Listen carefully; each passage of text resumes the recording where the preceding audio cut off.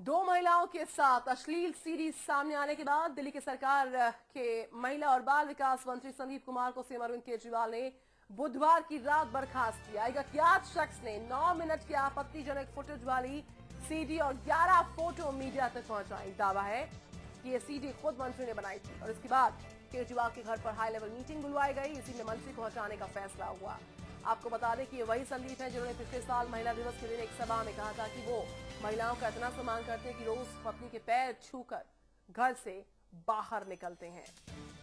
तो इनके इस वीडियो को लेकर, ग्यारह फ़ोटोज़ को लेकर जमकर बवाल मचा हुआ है और देर रात एक हाई लेवल मीटिंग हुई अरविंद केजरीवाल ने इसको लिया और उसमें यह फैसला हुआ कि इनको उनके पद से बर्खास्त किया जाए। संदीप कुमार को केजरीवाल ने हटा दिया सरकार से। दिल्ली में से स्कैंडल में फंस गए हैं मंत्री, जिनको बर्खास्त किया गया अरविंद केजरीवाल की सरकार की तरफ़ से। तो किसी ने 11 फ़ोटोज़ और ये वीडियो मीडिया तक पहुँचाया। उसके बाद अरविंद केजरीवाल के संज्ञान में आने के बाद तुरंत इस पर फैसला लिया गया। एक high level meeting Arvind Kejriwal ने बुलवाई, जिसमें यह फैसला हुआ कि संदीप कुमार को तुरंत प्रभाव के साथ बर्खास्त किया जाए। संदीप कुमार को सीएम केजरीवाल ने बर्खास्त कर दिया।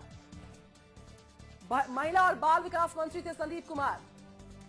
और पिछले साल आठ मार्च को जब अंतर्राष्ट्रीय महिला दिवस था तो उन्होंने कहा था कि मैं महिलाओं का इतना सम्मान करता हूँ कि जब घर से बाहर निकलता हूँ तो अपनी पत्नी के पैर छूकर घर से बाहर आता हूँ।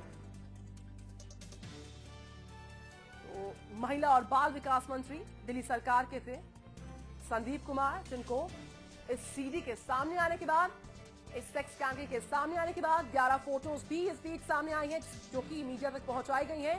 उसके बाद, तुरंत प्रभाव के साथ अरविंद केजरीवाल ने हाई लेवल मीटिंग बुलवाकर संदीप कुमार को उनके पद से बर्खास्त कर दिया है।